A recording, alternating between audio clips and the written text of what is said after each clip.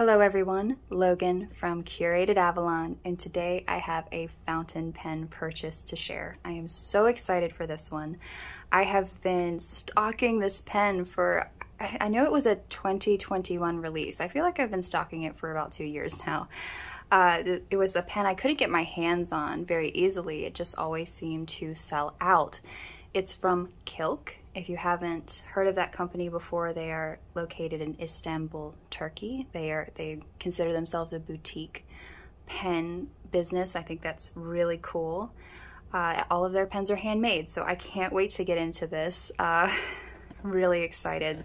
I just got an email one morning from Endless Pens going, hey, this is in stock, and I don't think I've ever purchased anything so fast in my life. I was like, oh my goodness, it's actually available.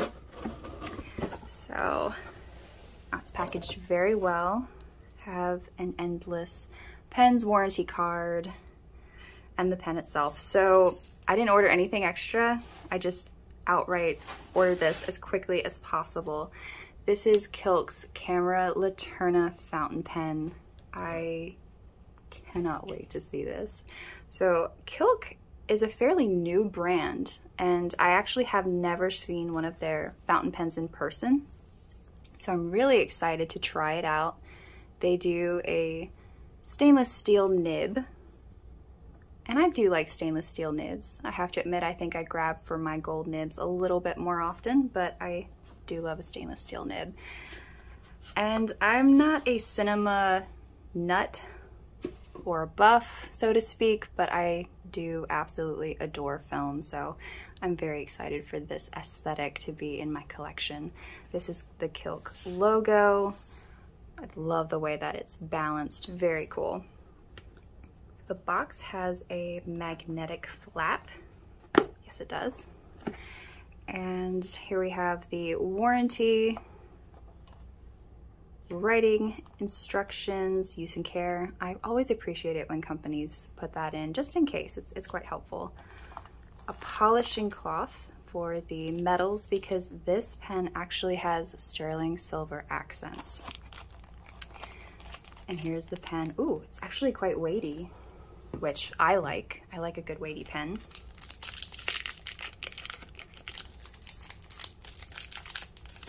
Oh wow, it is so pretty. Oh my goodness. So I'm not a gray toned person. I don't like a lot of gray hues.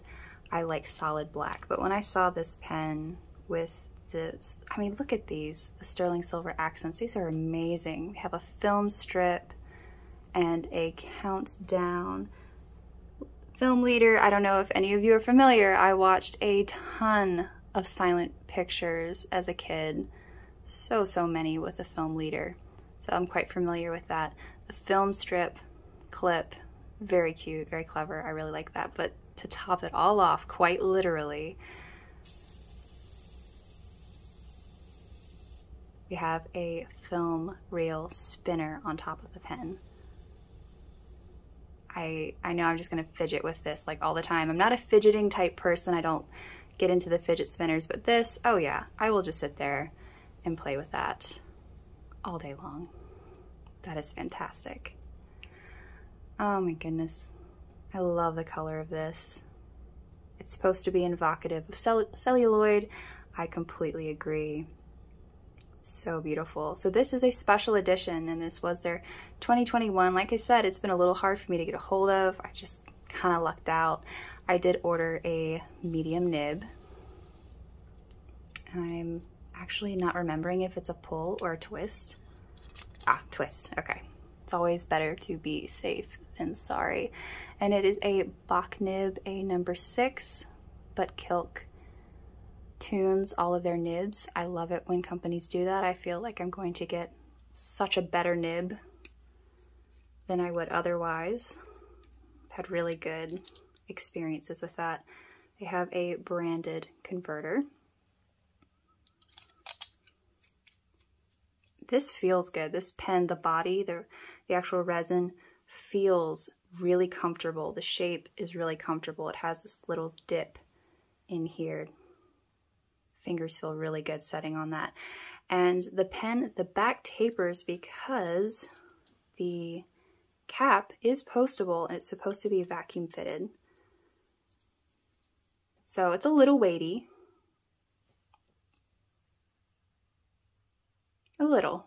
It might not bother me. I, I tend to like larger, heavier pens, but I do like the way that just slides on. It's very satisfying and it's a really secure post. So that's pretty awesome. So the weight, the extra weight is this fabulous little thing here, but uh, totally worth it in my opinion. So I'm just going to probably ogle this pen for like the next goodness knows how long. But I will go ahead and ink it up because I can't stand it. I have to try it out and I'm sure you may be curious to see how it writes. I did choose a medium nib. I kind of toyed around with maybe getting a fine and decided I needed to go with my old standby. So medium nib it is. I'm just to grab some ink and be right back. So I'm going to go with Dark Matter because this is my favorite ink and I actually don't have a pen currently inked with Dark Matter because I'm trying some different blacks and seeing if I can get used to them or if Dark Matter is just always going to be my favorite. And I've already got ink all over my fingers. Uh, absolutely crazy about this. So they do call this sterling silver, they refer to it as an aged sterling look. I tend to prefer high shine. Uh, I think for this aesthetic, it, it works really well. We've got the sterling stamp there, 925K. Very, very cool.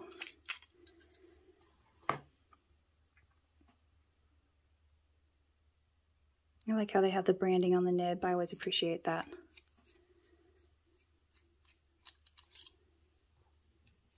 And I'm just going to go nib first.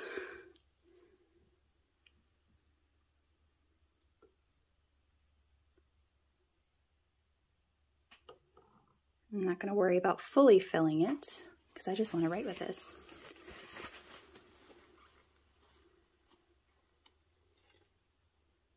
Okay.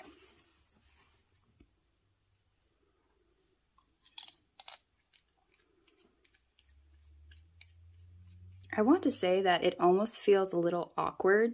Oh no. Well, at least my ink will match the pen it off real quick. Okay, it's fine. I feel like it's a little awkward, the, the shape. I don't think it's going to feel like that at all when I start writing, but just kind of holding it, moving it around feels a little awkward. I'm going to cap it and get this ink capped. Grab a notebook and start writing that out of the way. This is a Nebula notepad with their Tomoe River paper. And, all right, let's see how this does. I'm gonna try not capped to begin with, not posted, sorry. And, uh, I mean, let's face it, I'm just gonna sit there and hold this all the time and just play with it like nonstop. All right, wrote right off that, which is fantastic. I like nib filling the first time because that just makes life easier. So you have the camera, Laterna from Kilk. Medium nib, which feels very good.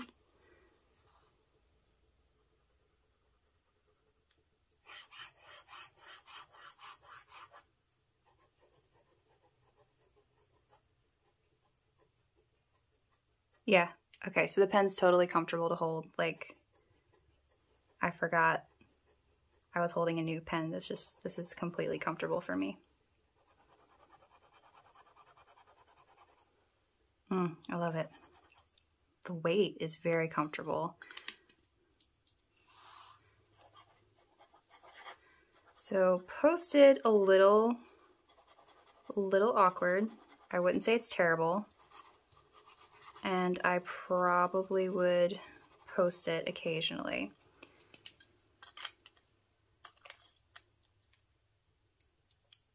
I love it. Use that for scratch paper and let's see, what can I write? How about a list of some of my favorite films? why not, in honor of the Pens theme and gorgeous aesthetic. Okay, some of my favorite films in no particular order because that would be too difficult. Uh, well, right now, if you haven't seen Top Gun Maverick, that is tops on my list right now. Absolutely. Love it. Went to see it several times. We'll probably go to see it again before it's all over with. Uh, other favorite films. Mm. Interstellar from Christopher Nolan. Uh, Tenet, actually. Tenet. I don't know. That might be my favorite Christopher Nolan film. It's really difficult. Whatever his new film is tends to be my favorite, but Tenet resonated with me in a way that I just absolutely loved. Uh, old Hollywood, kicking it back a little bit. To have and have not. Sabrina with Audrey Hepburn, of course. Mm. Rambo, First Blood.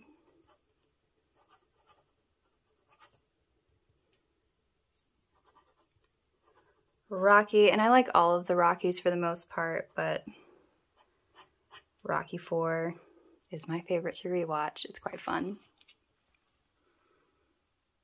Mm, okay, I might get laughed at for this one, but Treasure Planet, I was obsessed with that film. Still pretty much am, but absolutely adore Treasure Planet. Treasure Island was one of my favorite books as a kid.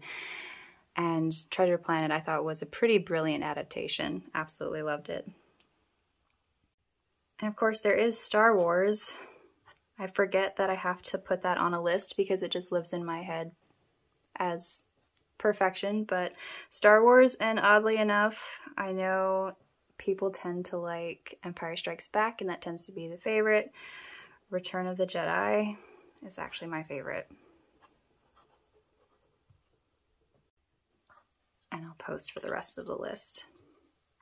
That is pretty comfortable. It's a little weighty, but it's, pretty comfortable.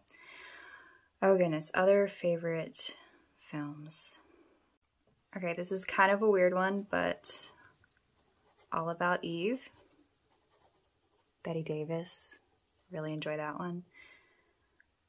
Ooh, um, Strangers on a Train.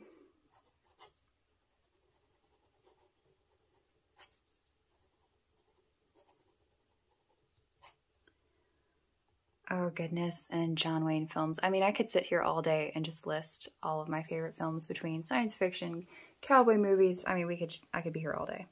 But I will go ahead and write down True Grit. Laura's pretty good. And if you haven't seen Leave Her to Heaven, that is bone chilling. All right, I think I'll end it there, but yes, uh, favorite movies. Mm, I could be here all day over that. All right, let's go ahead and I'll do a really good close-up writing sample with this pen because I don't really want to stop writing with it. So Kilk,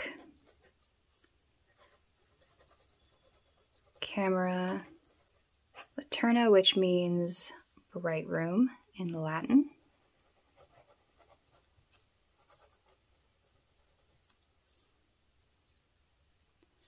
This is a number six Bock nib, so it is a medium. It is a stainless steel nib.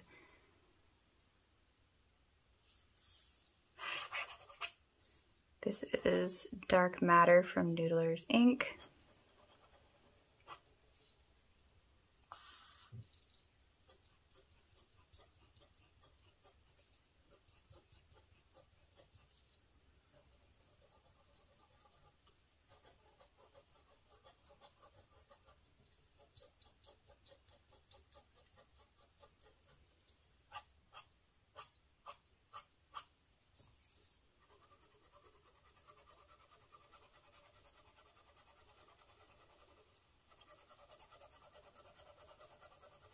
Okay, so writing with this post-it, it's actually pretty comfortable.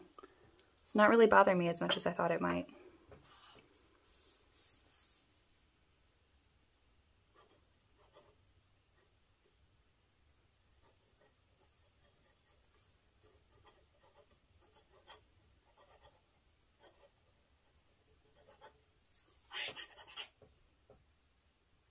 It's very comfortable. I love it. This might just be my new favorite. Ugh, Vanishing Point is hard to beat though. I'm just going to be playing giddy over this for a couple of weeks. I love it. I like the presentation. Little accessories are very helpful. The packaging is lovely. Ugh, I'm so excited to add this to my collection and to use it.